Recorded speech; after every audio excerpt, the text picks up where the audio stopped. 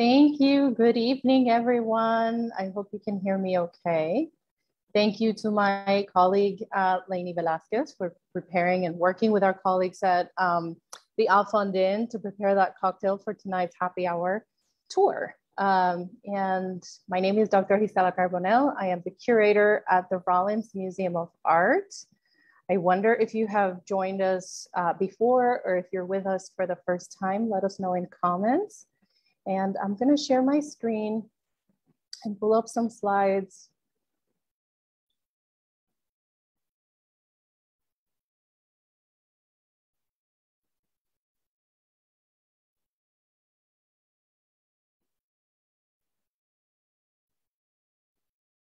Give me a second to get this.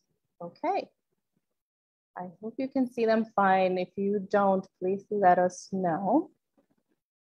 Um, so we are happy to welcome you to our Al Happy Hour tour, which we're doing virtual this semester. Um, and as a reminder, the museum is open. So uh, if you want to uh, go to the museum to visit us, we have regular hours. And at the Alfond Inn, of course, you can always visit us at the Al to see the art. The Al is open 24 seven to everyone. You don't need it to be a guest to go and enjoy the art that we have there on display. So I want to give you a brief introduction about the Alfond Inn, and then we're going to talk about specific works that uh, uh, from the collection that are currently on view at the Inn in celebration of LGBTQ plus History Month. Um, so you may be familiar with the Alfond, that's probably why you're here but I wanted to remind everyone that the works that are on view at the Alfond Inn are part of the collection of the Rollins Museum of Art. And if you haven't visited us or, or um, been in tune with us for, for some time in recent months, you may notice that we have changed our name. We used to be the Cornell Fine Arts Museum, uh, but now the Rollins Museum of Art. So all the works that we're gonna talk about today are part of the Alfond collection of contemporary art, which is part of the permanent collection of the museum and of Rollins College. Um, our, our collection has a little bit over 5,000 objects. And in the Fond collection of contemporary art, we have about 500 of those are part of this sub collection that we're going to talk about today.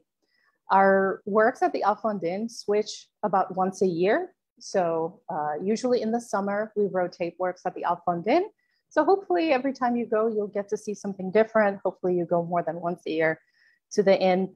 Um, and all of the works, of course, in this collection, as well as, as well as in the entirety of our collection, are aligned with the curriculum of Rollins College.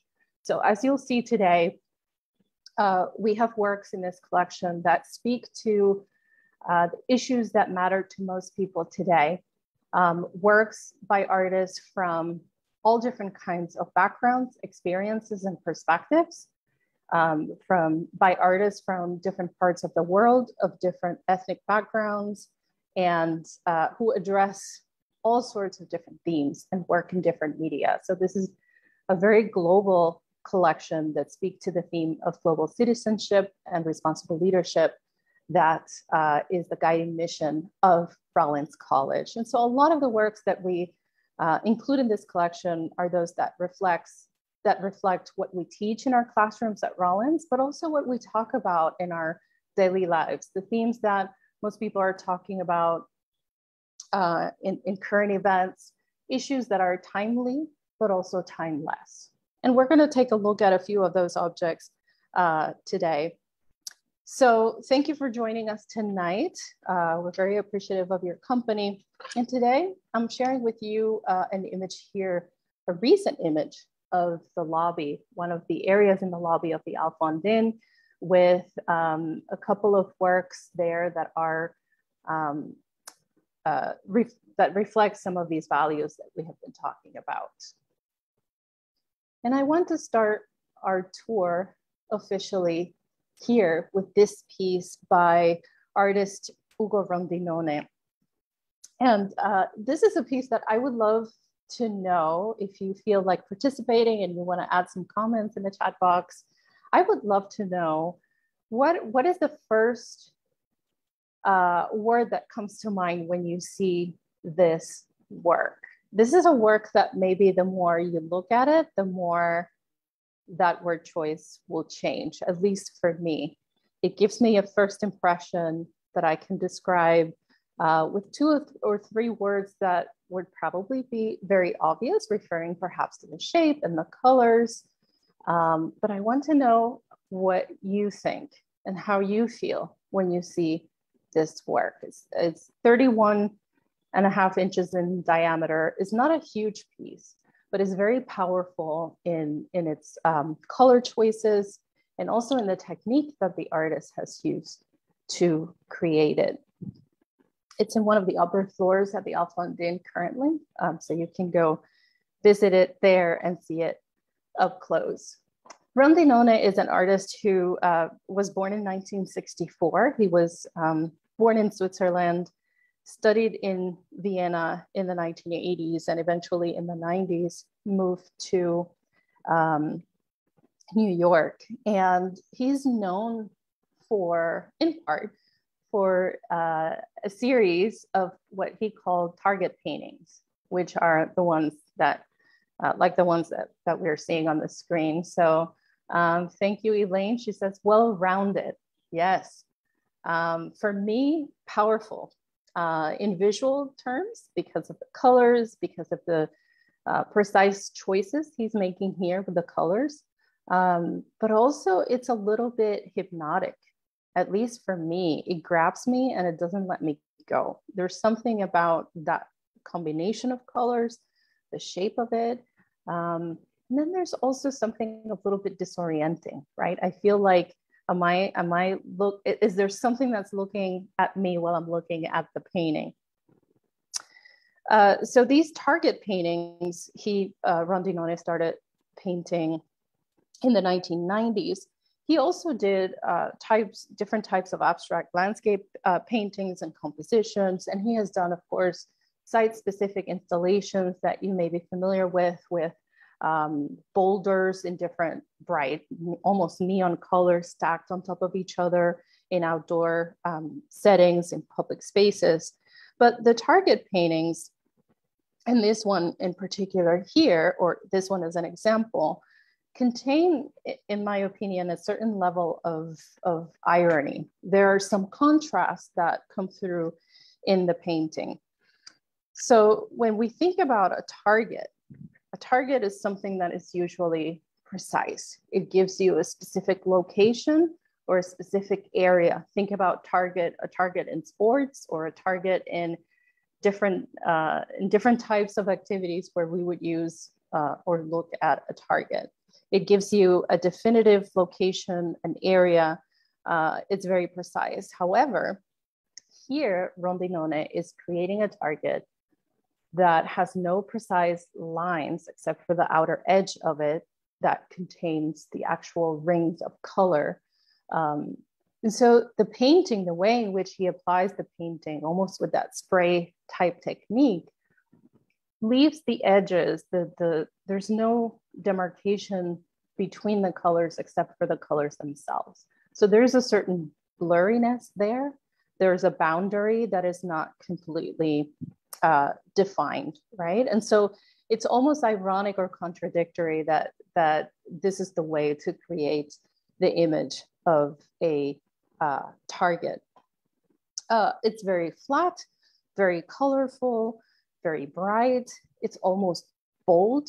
And the juxtaposition of the colors that he has selected here, uh, the more we look at them, the more they blend so if you spend a little bit more time looking at that red and the yellow together, you start seeing uh, shades of orange. And same thing if you look at, spend time looking at yellow and focus on the yellow and blue, perhaps you start seeing a little bit of uh, a ring of green right around the outer edge of the blue. So it becomes, it's activated by the viewer to the point that it becomes almost like a neon piece, right? It almost has that effect of being backlit or illuminated. And I love that quality about this work because it's it's very much how it feels when we see it in person. It's one of those works that uh, vibrate, that have that kind of, I can picture the buzzing sound of the neon lights, right? And the, the electricity sort of um, buzzing there in the background.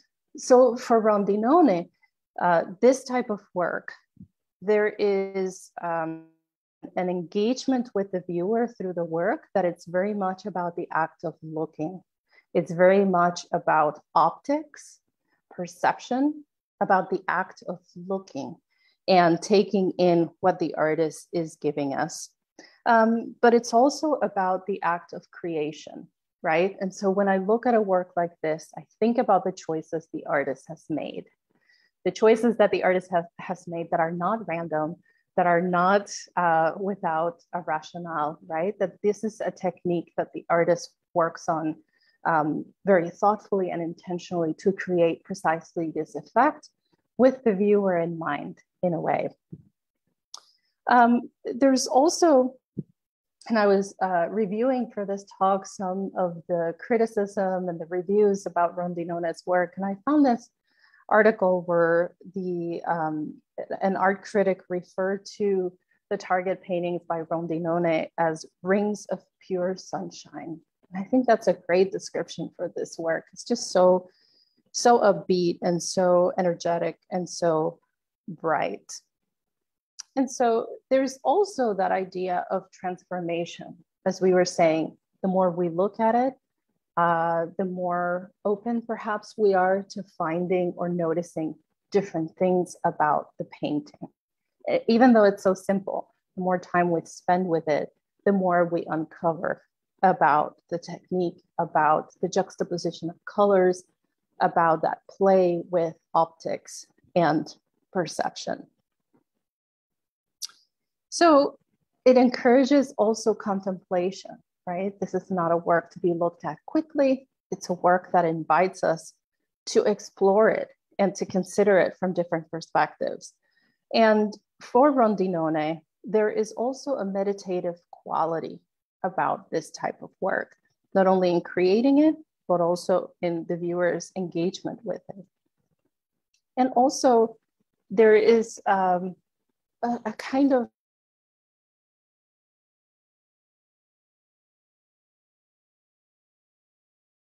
as a an act that is transcendental that there's something meditative um, about creating this work and there is also a connection between his artistic practice and that of his husband, who was a poet and also a visual artist, John Giorno, whose work we're going to look at in a second.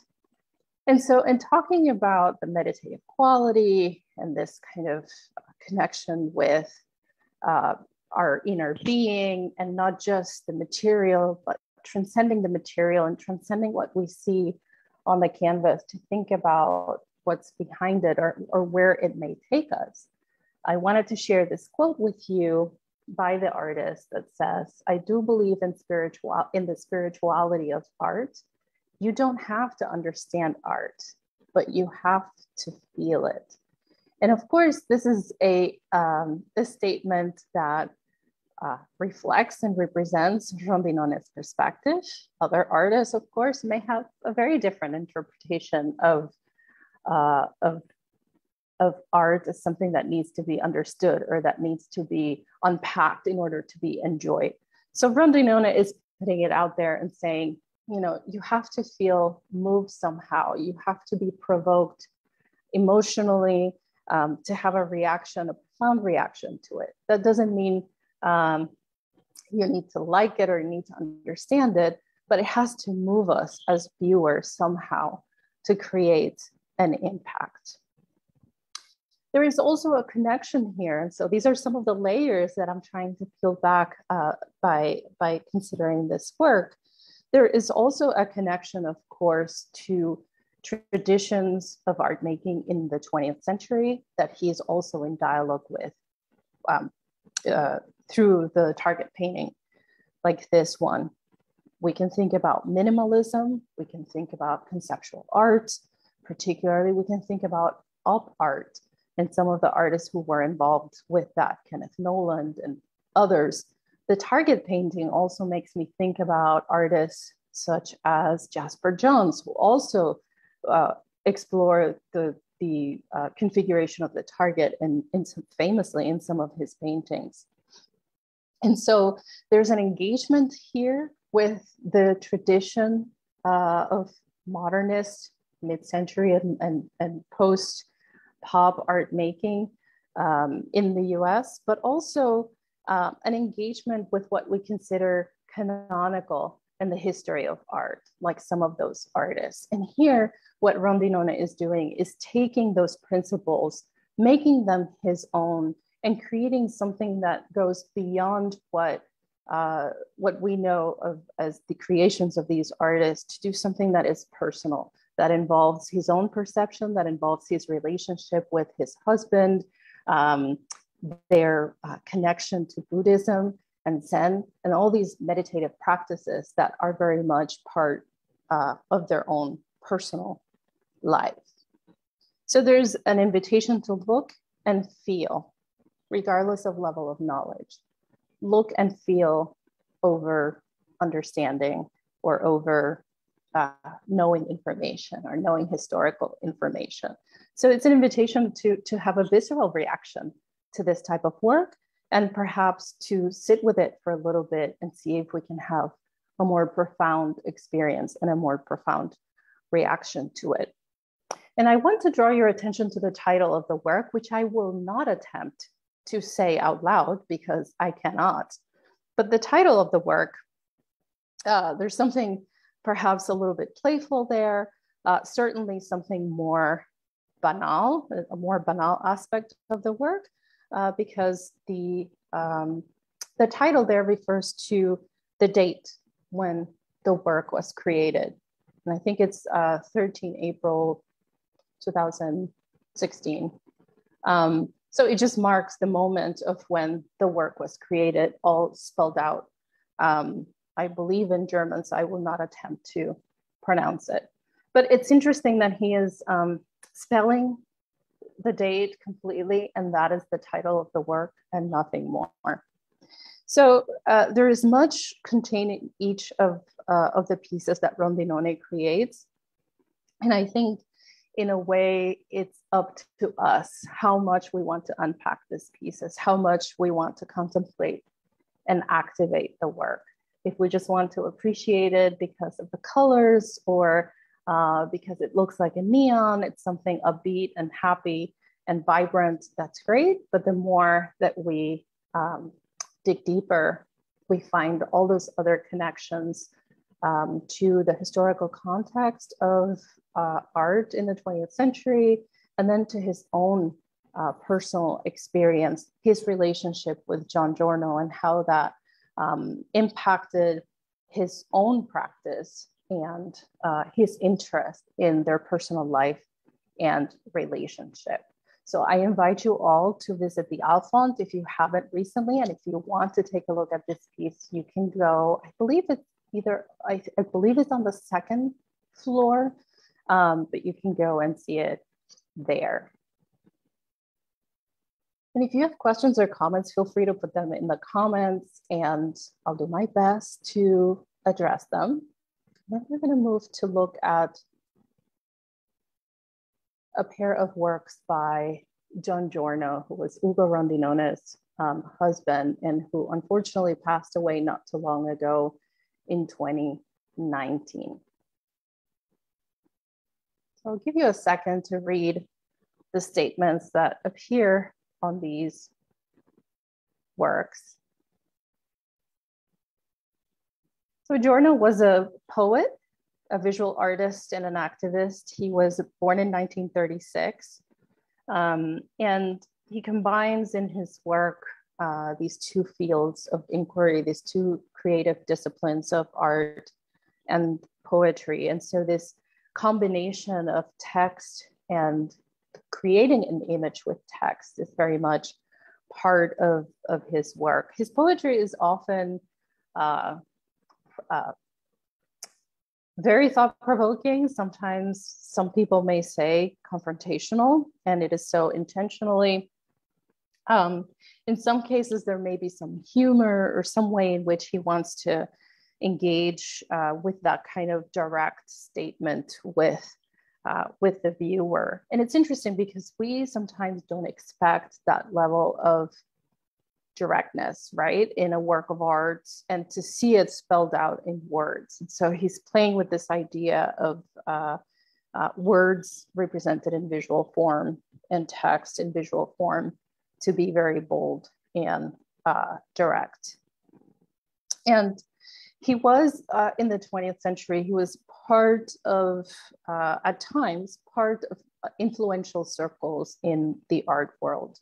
He was friends with Jasper Johns, who I mentioned when talking about the Target paintings uh, by Rondinone. He was uh, close with Robert Rauschenberg and close with Andy Warhol.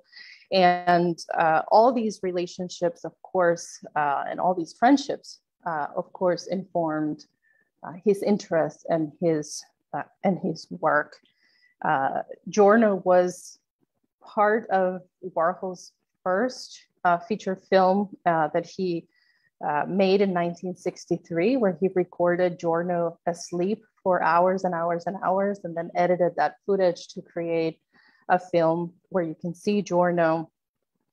And uh, in, in this process of getting to know these artists and being part of these circles, he also met um, influential poets who, whose works also informed his own. And so uh, throughout his decades of uh, artistic practice, he became interested in visual form later, started as a, as a poet. But one of the constants of, of his work, of the content, constant uh, connecting thread, perhaps, of his work is that as, an, as a poet and as an activist, he sought ways to make poetry accessible to regular people, to everyday people, very accessible in, uh, in a multiplicity of ways. And that led him to experiment with different techniques, different technologies, um, and different ways of trying to get the word out to people that poetry is accessible, it's for everyone, or it should be for everyone.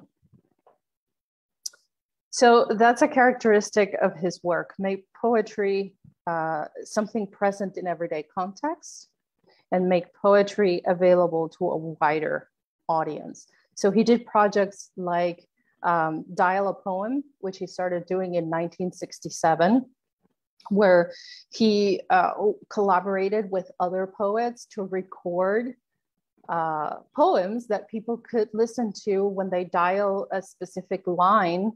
Think about that. 1967, you would see um, an announcement with a telephone number you would call the number and you would hear whether it was Giorno or some of the other poets that he worked with, and you would hear a recording of a poem.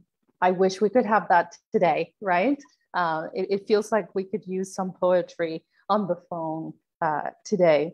So listeners would call that number and they would hear that. And I think a few years ago, it may have been when he passed away in 2019, I believe it was the Museum of Modern Art in New York activated one of these lines. I don't know if they still have it or if it was just for a period of time, but I saw it on the museum's uh, um, either social media or website, and I called, and uh, you could hear the recording. So I heard, I was able to listen to. Um, I believe it was Giorno. It could have been one of the other poets, but reading a poem, and so you could hear the recording you could hear that sound of not a not a polished um, you know cl- crystal clear recording but a recording that perhaps marked that era of of the technology that we had at that time to record. It was it was a very interesting um, experience experience. So a year after he started the dial a poem project in 19, 1968 he begins uh, making visual works with poetry. So he starts to overlap his two interests, uh, art making and poetry. And finally, in the 1990s, uh, he collaborated with a designer, a graphic designer who uh, worked with him to create the, the right font for him, to create um, uh, this kind of uh, all caps, very direct, bold uh, type of lettering, like the one that we see here, that is evocative of uh, newspaper headlines or perhaps the headlines that we see sometimes on those uh, banners on TV.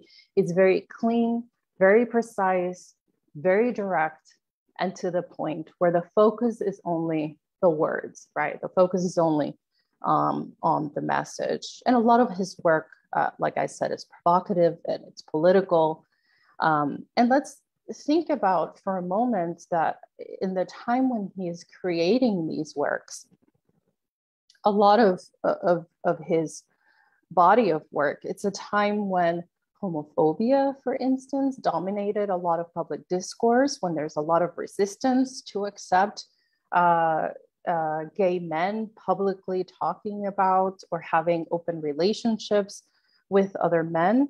Um, and this is the moment in which he uh, becomes very engaged in making efforts to support that community.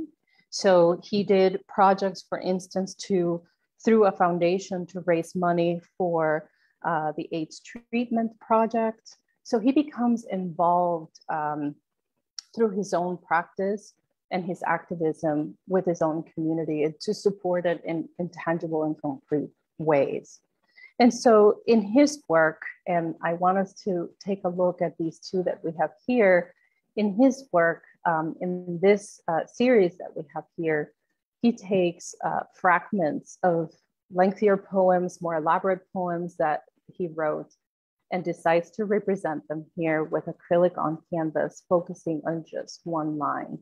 But it's one line that can be read in so many different ways, right? And this is where I think art, artists like Rondinone, artists like Giorno are having a dialogue with us consistently asking us uh, to talk with them, to engage with them, because these works can be read from different perspectives, depending on what we bring to them, on what we bring to the conversation and to the table, right?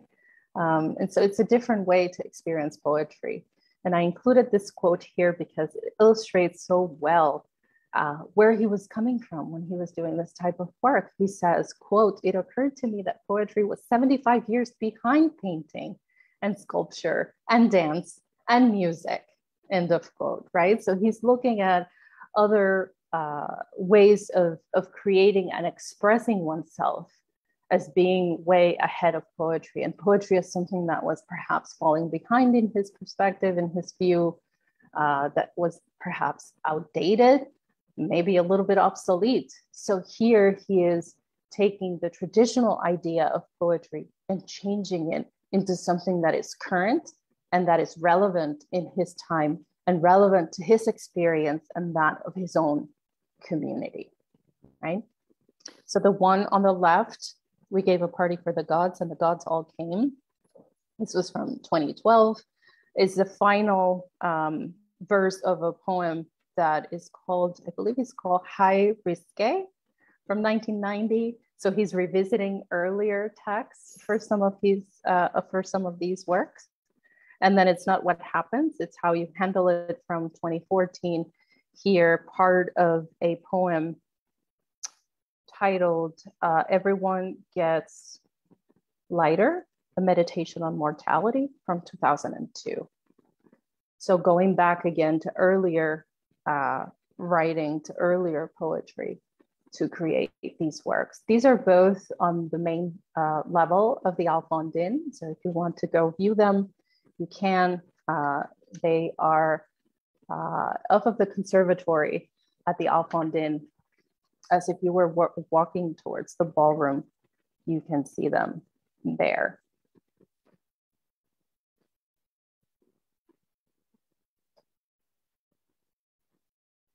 All right, and then here's a work that, like Rondinone, is so bright and bold and colorful and uh, a fantastic painting uh, in the collection. This is by Nicole Eisenman, also on view. This one is um, displayed currently in the lounge bar area at the inn. So when you go to get your cocktail, make sure you take a look in the bar area and see it. It has so much nuance in terms of the application of paint, the combination of colors, the vibrancy, the boldness of some of the colors that it really uh, invites us again to contemplate and spend some time looking closely at, uh, at the surface of, of the painting. Uh, Nicole Eisenman was born in France in 1965. She grew up in New York and she lives and, and she lives today and works uh, there as well. She studied art at the Rhode Island School of Design. And Eisenman has received many prestigious awards. I'm not going to read all of them, but just made a few notes here to give you an idea of her uh, of her sustained, uh, consistent practice throughout the years that have that has um, earned her this uh, kind of recognition. In 1996, she was awarded the Guggenheim Fellowship. In 2013, the Carnegie Prize. In 2015, the MacArthur uh, MacArthur Fellowship. Uh, she has been included in, I believe, three Whitney Biennials across across the years um, and has shown at many prestigious institutions in the US and abroad. And she's an amazing uh, artist, not only a painter, but also a sculptor. Uh, she showed an incredible uh, uh installation at the Whitney Biennial in 2019. Um, but this work, Sun in My Eye on the Beach from 2019, is a very personal work, and we are very fortunate to have it in the collection. This is a self-portrait, right? This is a self-portrait. And so very bold, very bright, geometric shapes with flat planes of color, with uh, daring juxtaposition uh, of colors and shapes to create the form here. So it's self-portrait. It's a very different, perhaps unexpected way to think about an artist's self-portrait. And I think in part what Nicole Eisenman is doing here is acknowledging or maybe nodding to an earlier art historical tradition, particularly Cubism, and all those artists. And it's interesting to think about that from an art historical perspective, right? She's perhaps uh, possibly looking at the artists who began Cubism and who established Cubism as one of the definitive transformational styles of the 20th century. Most of them were men, right? We give credit to, you know, Picasso and company. Here, what Nicole Eisenman is doing in the 21st century, looking back at that tradition, is uh, creating her own language that is nodding and, and acknowledging uh, the legacy of Cubism and of those uh, artists well, she's creating her own visual language that speaks to her own very personal experience and her very personal relationship to the act of art making. So if we take a look at the painting, uh, the painting is, imagine that you're uh, able to zoom in, right? So she zooms in the composition to focus on the head. She's not representing her body. She's just focusing on the head so in the way that it's uh, composed uh, and the way in which she works with uh, the, the planes and the depth and, and the figure, there is an emphasis on monumentality in a way that we are not used to perhaps, right? It looks as if it were a huge um, representation, a monumental representation or depiction of, of the head and face of the artist. So the scale is important here to create that effect and it gives it a very solid look, right? And then if we look at uh, the title, when she says sun in my eye on the beach, take a look at the way in which she has depicted uh, the figure's right eye, right on our left. There's a ray of sun, of, of sunshine here, literally piercing her eye, perhaps uh, almost blinding her, right, with very bright yellow right through uh, the figure's eye. And the reference to uh, the ocean, the blue, that band of blue in the background and that kind of cloudy sky. It looks like maybe there is a storm happening or, or coming. Uh, the ocean and the sky in the background are a reference to Fire Island, New York, a place that the artist um, is very familiar with. It's a place where she uh, spends many summers, um, has been spending summers for many years. And this is a place where she spends summers with, uh, as part of a, a community of artists and curators and art people and other people, right? So it's a very personal uh, experience for her and it marks her presence in a place that she's very fond of, a specific place, right? So it also marks her existence and her um, being there with uh, with the painting.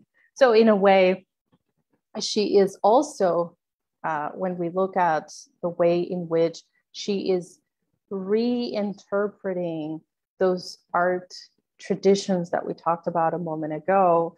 And then in the context where she is living for several months every year, um, she's talking about her own experience and she's capturing and giving shape and form to her own experience.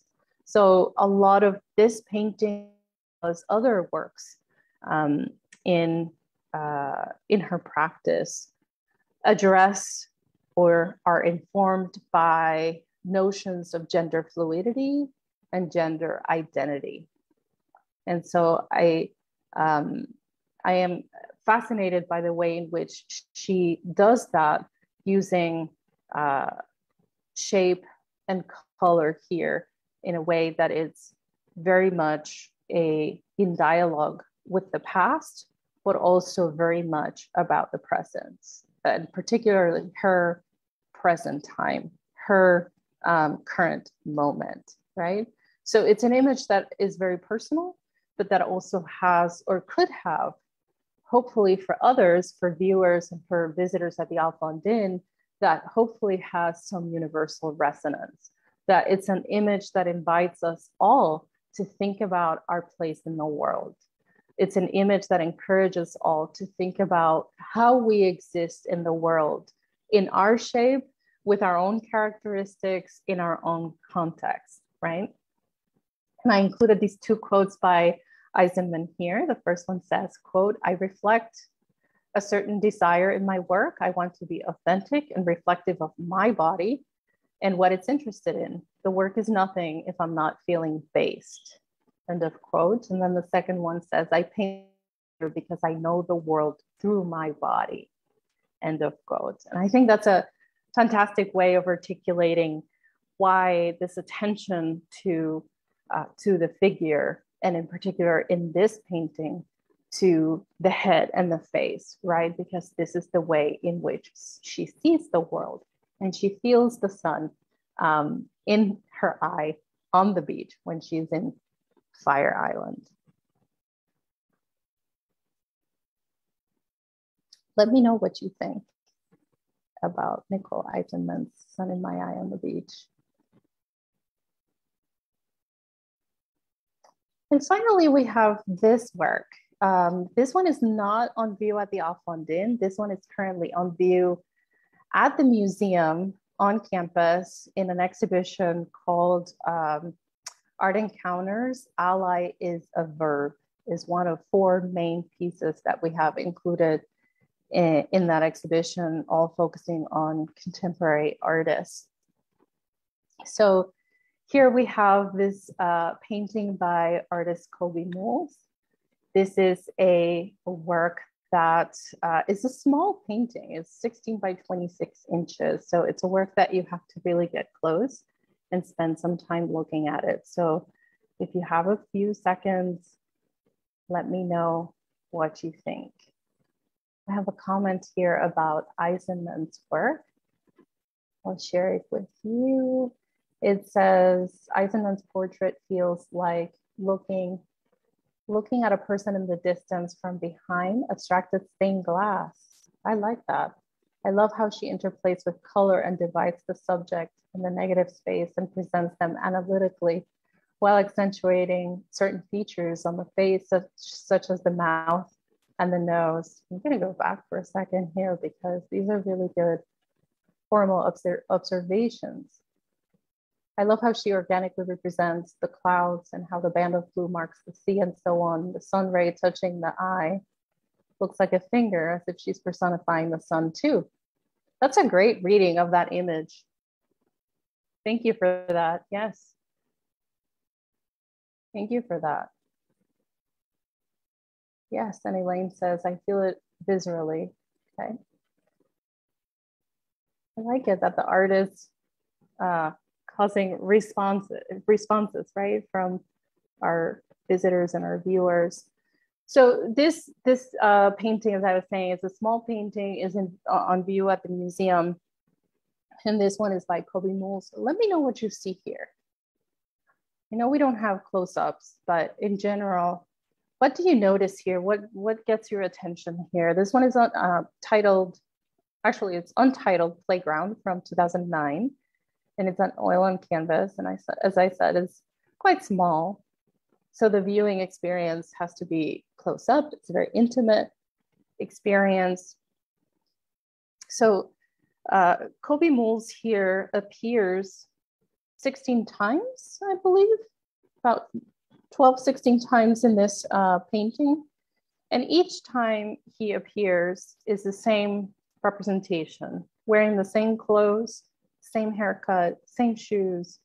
The only thing that changes is the pose, right? Sometimes we see him as a young boy by himself, other times um, interacting with other another version of himself in this uh, outdoor playground. Uh, it's a form of self-portraiture, but that is certainly not the traditional uh, self-portraiture that uh, perhaps we think about. Uh, Moules started painting when he was very young and uh, eventually went to art school and earned an MFA from the School of the Museum of Fine Arts in Boston. And in his work, he combines personal experience, as most of these artists do, but also in dialogue um, with the art historical tradition and the art historical canon. And in this work, we see the relationship between the individual, the relationship between the artist himself here as a young person and nature. And that is significant, significant because particularly because of the artist's own uh, upbringing and uh, the struggles and the transformations that he has experienced in his life and how that has changed uh, his relationships uh, with family members and also his uh, the perception of, of himself. So he is a transgender male who was uh, brought up in a very conservative religious family in rural California. And he talks about growing up and the experience of nature with his family as a young uh, child and how that perception has changed, the memories uh, that he has spending time in nature with his family. So, in this case, uh, and of course, growing up and uh, acknowledging his own identity and his own presence in the world affected and changed perhaps some of the relationships with his family.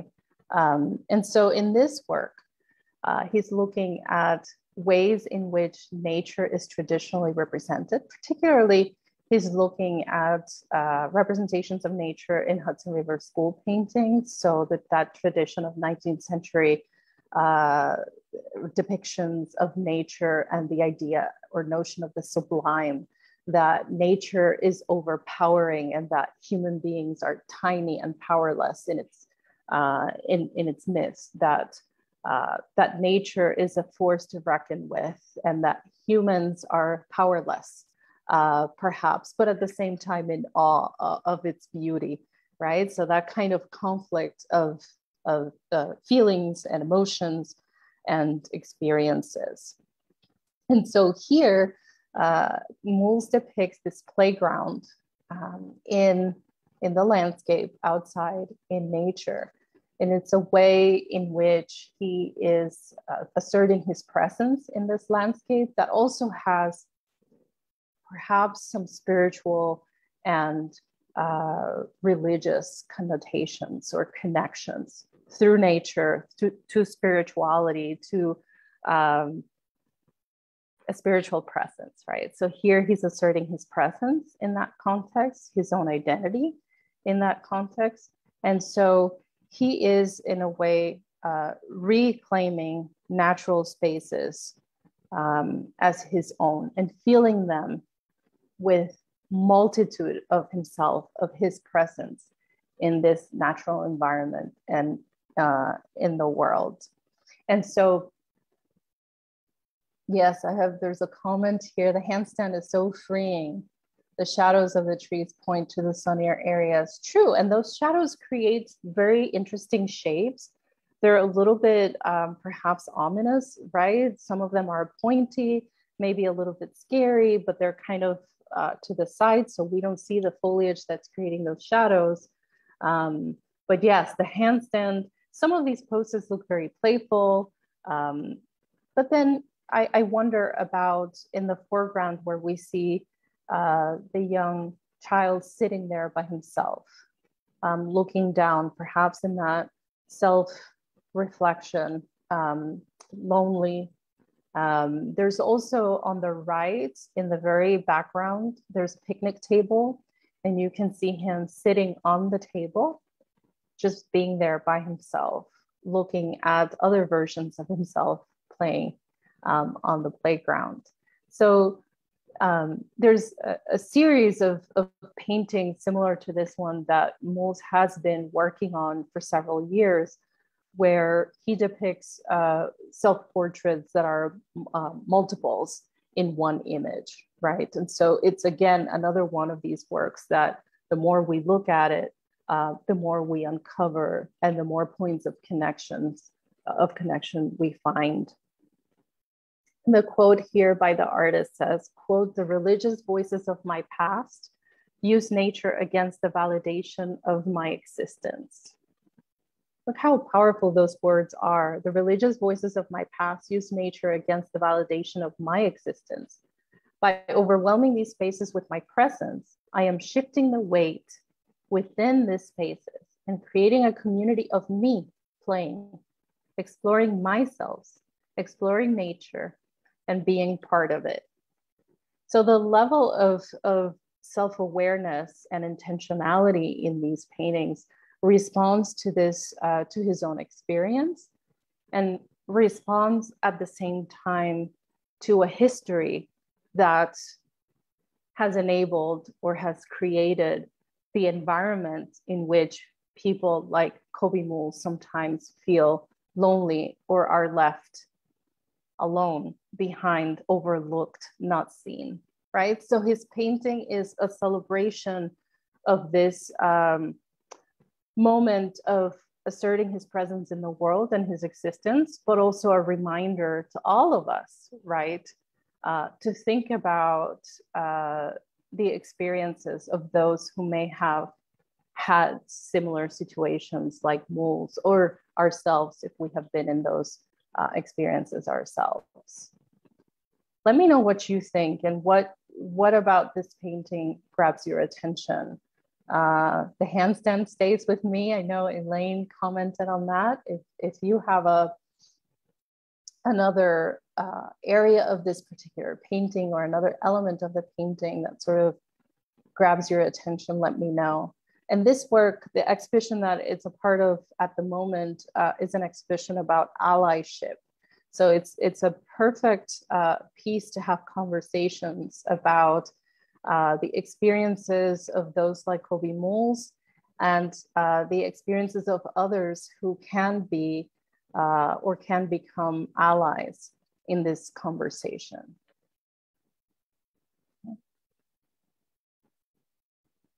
And finally, uh, before I take any questions or comments, and feel free to share those, I wanted to remind you uh, that we have three volumes of uh, the catalogs of the Alfond collection of contemporary art already published.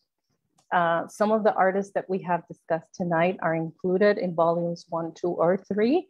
Um, others like uh, Nicole Eisenman, that work is so recent that uh, that one will be included in volume four, which will be coming out at some point in the near future. But the first three are available and you can find uh, more information about the artists and about the specific works that are in the Alfond collection in these three volumes. Um, and the catalogs, of course, are available in the museum store. Uh, they also have them at the Alfond Inn if you just want to go and, and flip, flip through the pages and, um, and take a look. You can do that, of course. And there's a lot of information on our website. I included the um, web page there if you want to visit our website. Also, information about the specific works and also about the specific artists. So I hope that um, looking at these uh, works together today give you a sense for uh, how we talk about some of these artists in our collection, the kinds of conversations that we hope to have with our visitors, the dialogues that come up when we think about the artist experience and the artist uh, creative output and how it resonates with us all, right? And I love that this group of artists, the selection that we made for tonight, we have artists from different backgrounds, different age groups, different life experiences, different gender identities, right? And how each of them brings something valuable and important to the table. And so I hope that when you visit the Alfond and when you visit the museum, take some time to look at the work. And uh, there's always lots of information that we provide with the artwork um, and think about some of these uh, connections. So let me know if you have any questions. Lainey, I don't know if we have questions from Facebook. I don't believe so. Um, okay. However, I did want to um, just make a comment about the uh, work, um, Mule's work, because I think I really love it for two reasons. One, that um, I feel like LGBT people are often depicted in, in society as in a negative way, usually in some kind of sexualized content. So I think seeing this is interesting because it's it's a playground and it's very innocent and it's that that reclaiming of innocence but then on the other hand um, i really like it because that is where a lot of people i feel like start to build their gender identity. I can remember growing up and and there was like the girls playing over here and they wanted to play, you know, house. And then there were the boys over here and they wanted to play soccer or kickball. So it's a place where I feel like a lot of children start to mold their gender identity. And being that we've, we've kind of been operating on this binary for quite some time now, um, there, there's always that divide. And I know as, as a part of the community myself, that was always a very confusing time because, well, I hated kickball and I didn't want to play house. So I usually found something else to do, like read books and things, but it's just a very interesting part of, I think, growing up um, gay or LGBT in general that you don't typically see, I think, in, in his, the historical art canon is, is this um, very personal look of, of people's lives as children, because I mean, we, we all grow up, we're all children, you know, at some point. So I just thought that was interesting. That's it. Yeah, that's a that's a great uh, way of thinking about it and looking at it. That you know, um, these in in the case of Cobi Moules and the the metaphor of the playground as that moment early in life when there are choices uh, being made, right? For for us when we are kids, um, by society, by parents, by religion, by right, and then as you grow up, uh, that's something that you have to grapple with. Um, so yeah, it's it's it's very interesting how how these ideas and these notions come up in some of um, Cobi Moules' work and focusing, as you said, I agree with your with your observation in this early stage, right? Mm-hmm. Um, when maybe we're not thinking about that as much. There's a comment from Facebook. Let's see. In Mole's work, I admire how the artist depicted his child self in clothing with similar colors to that of the playground pieces, as if he is at peace and one with the playground and the environment. This work moves me and reminds me that one must remain strong and confident in a world of twists and turns, and that the only way through life's problems is to go through them, or in this case, to play along with them. so we could survive and shine through. Thank you for sharing these pieces. Thank you for, for your comment. Um, I wonder if you're an art historian because it sounds like you are right on point with, with your analysis and, um, and identifying the meaning in a lot of these elements. And I appreciate so much uh, your words. And I think that's a great, great way to end this tour with, with your words. So thank you for joining us tonight and for sharing your thoughts. Um, if we don't have any other questions or comments, I think we're about time. So with that, I very soon at the Alfond Inn and very soon at the museum. Visit us on our website, rollins.edu slash RMA and have a great night, everyone. Thank you for joining.